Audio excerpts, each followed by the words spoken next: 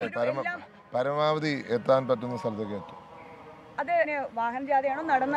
അല്ലാതെ അതാത് മേഖലകൾ തീരുമാനിക്കും. ഇനിയിപ്പോ വോട്ടർമാരടുത്ത് ചെല്ലുമ്പോൾ ഇത്രയും നാൾ വിവാദങ്ങൾ ഉണ്ടായിരുന്നു രാഷ്ട്രീയ പ്രശ്നങ്ങൾ ഉണ്ടായിരുന്നു ഇനി അവസാന ഘട്ടത്തിലേക്ക് കിടക്കുമ്പോൾ എന്താണ് പറയാനുള്ളത് വോട്ടർമാരോട്?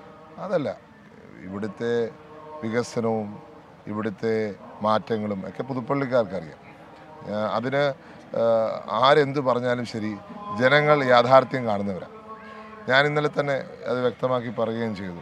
ഇവിടുത്തെ ഓരോ വികസനം ഞാൻ എണ്ണി എണ്ണി പറഞ്ഞു. ഞാൻ എണ്ണി എണ്ണി പറഞ്ഞിട്ടും ഞാൻ ഒറ്റ ചോദ്യമേ പറഞ്ഞുള്ളൂ. ഈ വികസനങ്ങൾ ഇവിടെ ഉണ്ടോ ഇല്ലയോ? ഞാൻ പറഞ്ഞ വികസനങ്ങൾ ഇല്ല എങ്കിൽ നമുക്ക് അതും ഡിബേറ്റ് ആക്കാം. ഉണ്ടെങ്കിൽ അതും ഡിബേറ്റ് ആക്കാം. അങ്ങനെ ഒരു ഡിബേറ്റ് ഞാൻ പലതവണ പറഞ്ഞിട്ടും അതൊരു ഡിബേറ്റിലേക്ക് വരുവാൻ ഇടതുപക്ഷ സ്ഥാനാർത്ഥി തയ്യാറായില്ല. അദ്ദേഹമാണ് സംഭവത്തിന് എന്നെ ക്ഷണിച്ചത്. ഞാൻ പറഞ്ഞു ആ സംഭവത്തിന് തയ്യാറാ. പക്ഷേ ഈ കാര്യങ്ങളൊക്കെ ഉണ്ടോ? ഞാൻ എണ്ണി എണ്ണി പറഞ്ഞ വികസന പ്രവർത്തനങ്ങൾ ഈ മണ്ഡലത്തിലുണ്ടോ? ഉണ്ടോ ഇല്ലയോ എന്നുള്ള ചോദ്യത്തിന് ഉത്തരം കിട്ടിയില്ല. പിന്നെ ഞാൻ സംവാദത്തിന് ചെന്നില്ല എന്ന് പറയുകയാണ്. അപ്പം ജനങ്ങൾ ഇതൊക്കെ കാണുന്നുണ്ട്. എന്തിനാണ് ഈ ഒളിച്ചോട്ടം നടത്തുന്നത്? പിന്നെ വ്യക്തിപരമായ ആക്ഷേപം. അത് ഇന്നും ഇന്നലെ തുടങ്ങിയ കാര്യമല്ല.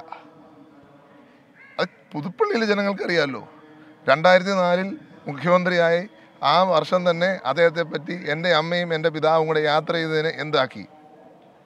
അതിനുശേഷമുള്ള കാര്യങ്ങൾ രണ്ടായിരത്തി പതിമൂന്ന് മുതൽ രണ്ടായിരത്തി ഇരുപത്തിരണ്ട് വരെ വ്യക്തിപരമായും കുടുംബമായും ഞങ്ങളുടെ മന്ത്രിമാരെ എം എൽ എമാരെയൊക്കെ വേട്ടയാടിയത് കേരളത്തിലെ ജനങ്ങളും പുതുപ്പള്ളിയിലെ ജനങ്ങളും കണ്ടെയാണ് അവസാനം ഇന്നലെയും കോടതി പറയുന്ന സാഹചര്യം ഉണ്ടായില്ലേ? അപ്പം ഈ വേട്ടയാടലുകൾ കേരളത്തിലെ ജനം കണ്ടുകൊണ്ടിരിക്കുകയല്ലേ? പുതുപ്പള്ളിയിലെ ജനങ്ങൾ കാണുകയല്ലേ? ഈ നാടിന് വേണ്ടി നിന്നു എന്നൊരു കുറ്റം ഇവിടുത്തെ സാധാരണക്കാരന് വേണ്ടി പ്രവർത്തിച്ചു ഇവിടുത്തെ പാവപ്പെട്ടവന് വേണ്ടി പ്രവർത്തിച്ചു എന്നൊരു കുറ്റമേ ചെയ്തിട്ടുള്ളൂ. അതിനാണ് വേട്ടയാടിക്കൊണ്ടിരിക്കുന്നത്. ഇന്ന് വീണ്ടും വേട്ടയാട് തുടരുക. അത് അദ്ദേഹത്തെ സ്നേഹിക്കുന്നവരെ അദ്ദേഹത്തെ കുടുംബത്തെ തുടരുന്നു എന്ന് മാത്രമേ ഉള്ളൂ. നിങ്ങൾക്കറിയാം ഇന്നലെ ഒരു കഥ തന്നെ ഉണ്ടാക്കി. അതൊരു ഓഡിയോ ക്ലിപ്പായി ഇവിടെ എല്ലാ സ്ഥലത്തും വൈറലാക്കിക്കൊണ്ടിരിക്കുക ഒരു പ്രശ്നമില്ല ഞാൻ ഒരു മകനാണ്. ഒരു മകനെന്ന നിലയ്ക്ക് എന്റെ പിതാവിന് വേണ്ടി ചെയ്ത എല്ലാ എല്ലാ കാര്യങ്ങളും എനിക്ക് ബോധ്യമുണ്ട്. എന്റെ മനസ്സാക്ഷിയുടെ കോടതിയിൽ ഞാൻ പൂർണ പരിശുദ്ധനാണ്. എനിക്ക് ജനങ്ങളോടും അത് മാത്രമേ പറയാനുള്ളൂ. ജനങ്ങളുടെ കോടതി തീരുമാനിക്കട്ടെ ബാക്കി. ഏത്? പക്ഷെ പ്രചരിപ്പിക്കുന്ന സി പി എമ്മിന്റെ ഹാൻഡിൽ നിന്നാണ്. അല്ല അത് കോൺഗ്രസ് ശബ്ദമാണ്. എനിക്കറിയില്ല. ഇത് പറയുന്നത് സി പി എമ്മിന്റെ ഹാൻഡിൽ നിന്നാണ്. ഇത് എങ്ങനെ വിശ്വസിക്കും അങ്ങനെ ആര് ചെയ്താലും ശരി അത് ശരിയല്ല. അങ്ങനെ ചെയ്തിട്ടുണ്ടെങ്കിൽ അത് ശരിയല്ല.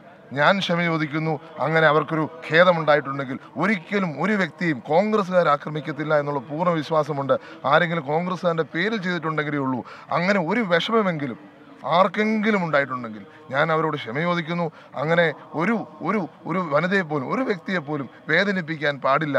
കാരണം ആ വേദന കഴിഞ്ഞ ഇരുപത് വർഷമായി അനുഭവിക്കുന്നവരാണ് ഞങ്ങൾ. ഒരു കാരണവശാലും അങ്ങനെ ജയിക്കനോ കുടുംബത്തിനോ വ്യക്തിപരമായോ കുടുംബപരമായോ വിഷമമുണ്ടെങ്കിൽ ഞങ്ങൾ ക്ഷമ ചോദിക്കും.